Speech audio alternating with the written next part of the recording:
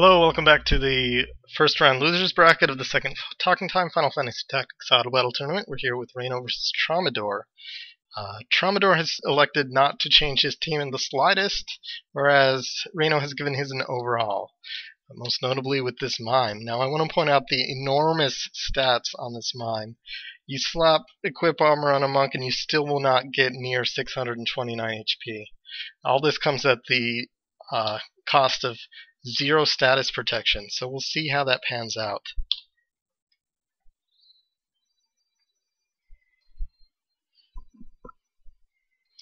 Not to mention that unit will not be absorbing any of those holies, so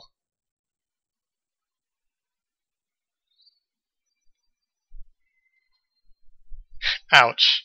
Yeah, I don't think he saw that coming when he prepared this team. Maybe he saw that one coming, though. Who knows? Uh, this will be our shortest match of the tournament. Thanks for watching.